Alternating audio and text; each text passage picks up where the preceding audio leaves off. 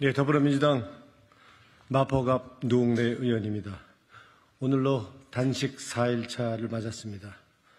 오늘은 제 입장을 간단히 말씀드리고 마포갑 지역에서 경선을 위해 열심히 준비해 오신 예비 후보자분들이 언론인 여러분께 직접 함께 하겠다는 말씀을 드리고 어, 저 관련된 준비된 그 원고 저 성명서를 발표하고자 저 준, 전달해 드리고자 합니다. 우선 제 입장을 먼저 말씀드리겠습니다.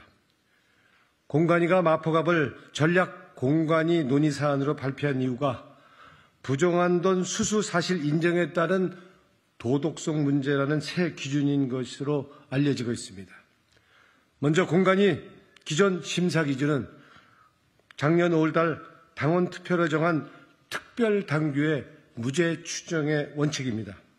이 당규나 심사 기준을 변경하는 어떤 절차도 없이 새 기준을 적용하는 것은 명백하게 당원 당규 위반이며 윤석열 검찰 독재의 면죄부를 주는 것이기 때문에 매우 부당한 것입니다.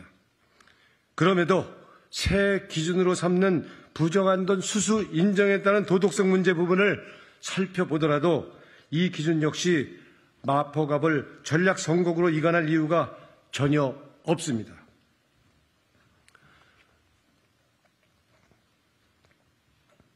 저는 일관되게 검찰의 부정한 돈 수수 주장을 부인해 왔습니다. 작년 10월 13일 공개 법정에서 소액의 후원금을 받은 일만 있고 후원금을 처리하겠다고 통보한 녹음 파일이 있다는 다고 밝힌 것이 전부인 것입니다. 숨기다가 최근에 비공개 의견서에 밝힌 것도 아닙니다. 작년 10월 당시 한겨레 신문 보도까지 있습니다. 분명하게 말씀드립니다. 부정한 돈을 받지도 않았고 인정하지도 않았습니다.